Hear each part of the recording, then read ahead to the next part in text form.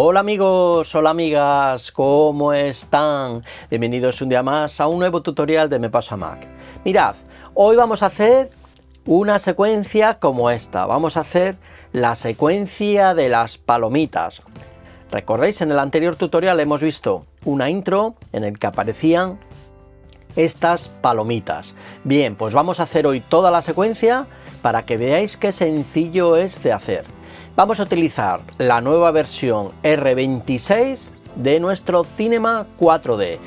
Bueno, mirad, vamos a traer el entorno que traía nuestra versión R23, la disposición de los iconos es muy similar, aunque hayan cambiado por completo, eh, podemos seleccionar entre la versión predeterminada, la nueva de R25, en este caso ya os digo estamos utilizando la R26, o ya sabéis que podéis colocar el diseño anterior. Yo voy a seguir con este diseño que me encuentro muy cómodo con él, ¿vale? Bien, lo primero que voy a hacer es crear un nuevo grip para comenzar completamente desde cero. Voy aquí al más y voy a crear mi pantalla de inicio desde cero. Desde aquí voy a crear un cubo. Mirad, me vengo a las primitivas y cojo el cubo que tengo aquí. Lo primero que voy a hacer es hacer editable mi cubo. Me vengo al icono de hacer editable y de esta manera ya puedo seleccionar una de las caras de mi cubo. Mirad, me vengo a polígonos, selección directa y cojo la cara superior y selecciono esta cara. Con el botón de la derecha lo que hago es venir a extrusión interior y voy a extruir esta cara de este cubo hacia adentro, mirad, de esta manera, para crear aquí unas paredes de mi bote que va a contener mis palomitas. Lo que voy a hacer ahora es, me voy a situar aquí y mirad, voy a bajar con coma no control mi cara hacia abajo. La voy a poner sobre la mitad, una cosa así. ¿Veis? Y este bote va a ser el que contenga mis palomitas. El siguiente paso va a ser dar forma a mi bote. Para ello, mirad, me voy aquí a aristas, voy a selección, selección cíclica y voy a seleccionar. Mirad, las aristas del interior del bote, le voy a dar vuelta y con la tecla Shift pulsada para no perder la anterior selección, voy a seleccionar las aristas de la parte inferior del bote, así. Y de esta manera tengo seleccionadas estas eh, dos partes de mi bote. Me voy a poner en todas las perspectivas y mira, me voy a frontal y con escalar, directamente voy a escalar este bote con la forma que yo estoy buscando. Mirad, le voy a poner, por ejemplo, así. Bien, mirad, el siguiente paso cuál es? Me vengo a aristas, selección, quito solo visibles para que me marque las aristas de delante y de detrás, pincho con mano control y deselecciono la parte inferior. ¿Lo veis? Dejando la superior. De esta manera vuelvo a escalar y subo el tamaño de la parte superior. ¿Veis? Así, para tener esta forma. Me vengo a perspectiva y ahí tengo ya mi bote de palomitas preparado. Mirad, lo que voy a hacer es ahora hacer unos cortes en este bote para eh, poner unas especies de almenas o triángulos en la parte superior de alrededor del bote. Para ello, mirad, Mirad, lo que voy a hacer ahora es seleccionar mi cubo, botón de la derecha y voy a coger cortar cíclico trayectoria. Me voy a poner aquí. Mirad, en cualquier posición de estas voy a hacer un corte, da igual la posición. Y directamente lo que hago es crear aquí, venir al más, aparece esta barra, me voy a venir al más y voy a crear otro corte, otro corte, otro, hasta 7. Aquí tenéis el número de cortes, ¿veis? Y voy a poner 7. Cuando pinche aquí, me va a dar el corte en todas estas posiciones me voy a venir, voy a cambiar de posición, me voy a poner en esta otra, pincho y vuelvo a generar cortes, voy a poner 7. Pincho en este, bien, me voy a venir a todas las vistas, voy a la superior y mira, voy a hacer esto más grande. Y lo que voy a hacer ahora es seleccionar con la herramienta puntos. Y ahora empiezo a seleccionar los puntos de la parte superior de mi vaso. Mirad, voy a empezar por arriba a la izquierda, la esquina no la selecciono y cojo esta y dejo una en blanco. Voy a poner esta así selecciono estas, todas estas, ¿veis? Voy seleccionando, una sí y una no. Voy a seguir cogiendo, dejo pulsado el ratón, ¿veis? Y mirad, ahora me vengo a la perspectiva, voy a la I y tiro de la I hacia abajo para formar todas estas almenas triangulares de mi vaso. ¿Lo veis? Ya tengo mi vaso de palomitas. Voy a coger una textura que me dejó Ceci. Aquí vengo a textura y voy a coger cargar imagen. Mirad, voy a coger esta textura del vaso de palomitas. Ok, digo que no y la voy a meter aquí. ¿La veis? Mirad, voy a quitar esta etiqueta de aquí, me vengo a la bolita y me vengo a proyección. Y aquí pongo, por ejemplo, cilíndrica. ¿Lo veis? Y ya solo tengo que venir a la bolita, botón de la derecha y, y decirle generar coordenadas UV. Y de esta manera voy a tener mi vaso mapeado con este dibujo o textura, ¿vale? Venga, vamos a comenzar a dar animación y a colocar mis palomitas. ¿Cómo hago esto? Mirad. Para crear las palomitas, tengo que venir aquí a las primitivas y voy a coger una esfera. A esta esfera la voy a subir aquí arriba. Mirad, voy a hacerla más pequeña y me voy a venir a mi esfera y aquí en tipo le voy a poner, por ejemplo, vamos a poner aquí mostrar sombreado líneas, esta de hexaedro tipo. ¿Lo veis? Perfecto. Mirad, ¿qué voy a hacer ahora a continuación? Voy a hacer editable mi esfera. Venimos aquí a hacer editable la esfera. Voy a seleccionar polígonos y me voy a malla. Y en malla voy a coger un pincel, por ejemplo este de inflar. Y mirad, y voy inflando para que vaya esto más, para que esto marque más, voy a configurar aquí el tamaño a tope y la presión a tope. Y mirad, voy a inflando aquí esta esfera de esta manera. Vamos a inflar aquí, vamos a inflar aquí. Si dejo Shift, me va a meter hacia adentro, ¿veis? Si suelto eh, Shift, me saca protuberancias en la esfera y me hace esto tal que así. Mirad, voy a Shift para meter esto para adentro, por ejemplo, ¿veis? Y vais haciendo ahí una forma como de palomita. Vamos a meter esto para adentro. Shift para meterlo para adentro. ¿Veis? De aquí puedo sacar también de aquí un poco. Voy haciendo una palomita tal como esta que tengo aquí. ¿Lo veis? Shift y lo meto para adentro. Y mirad mi palomita.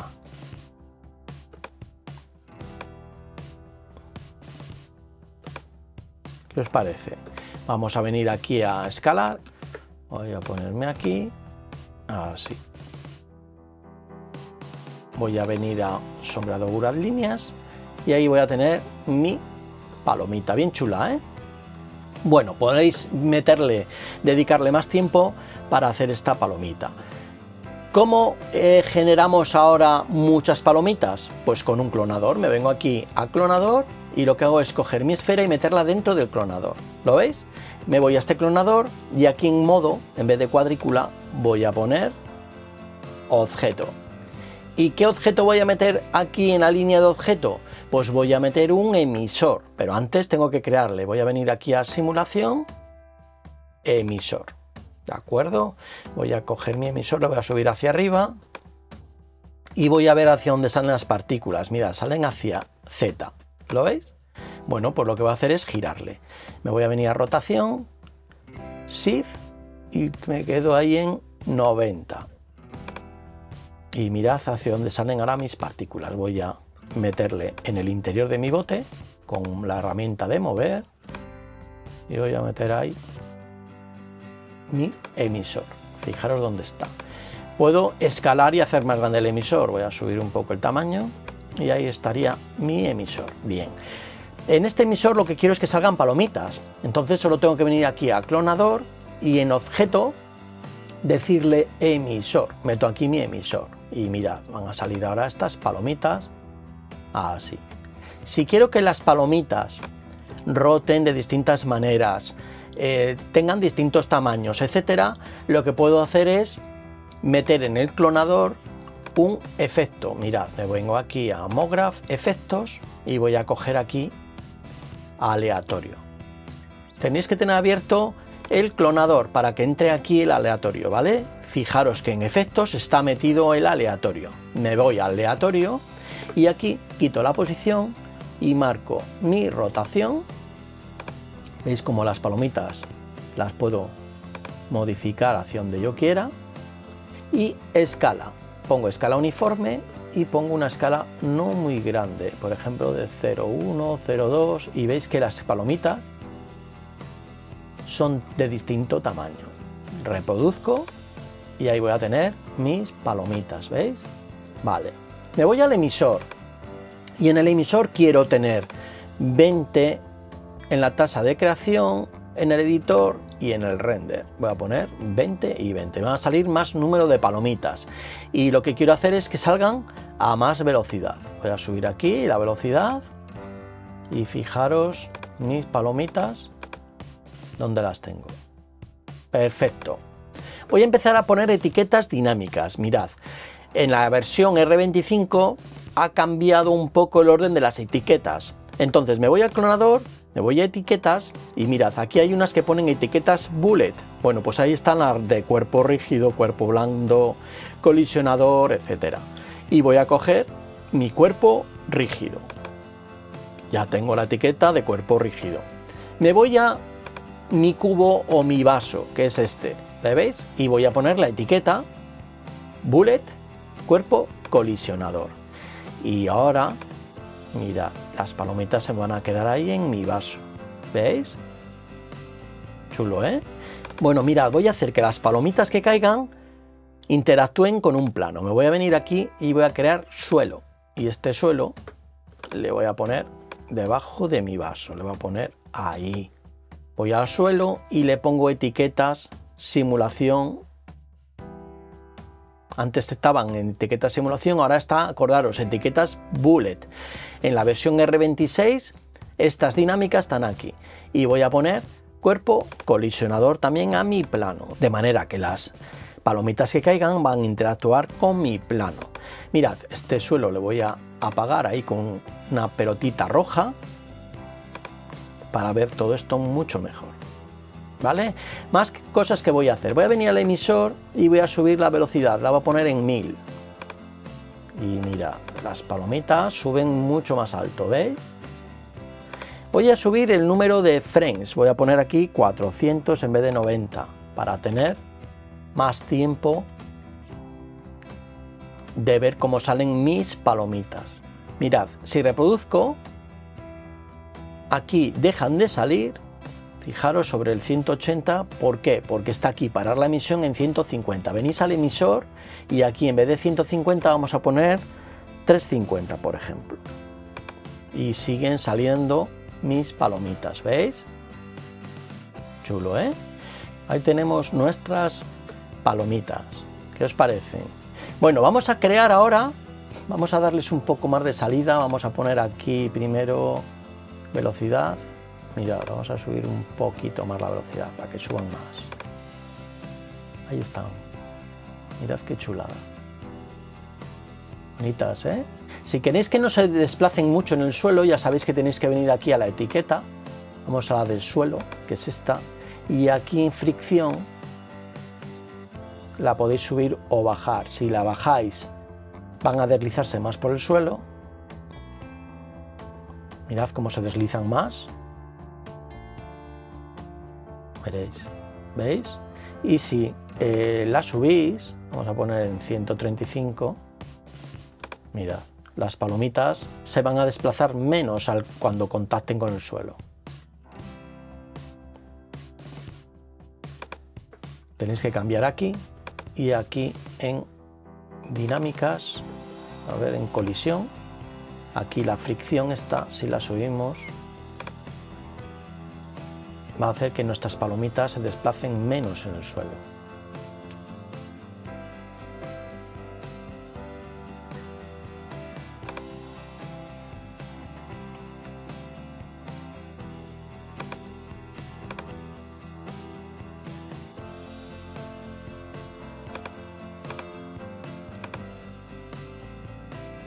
Mirad las palomitas.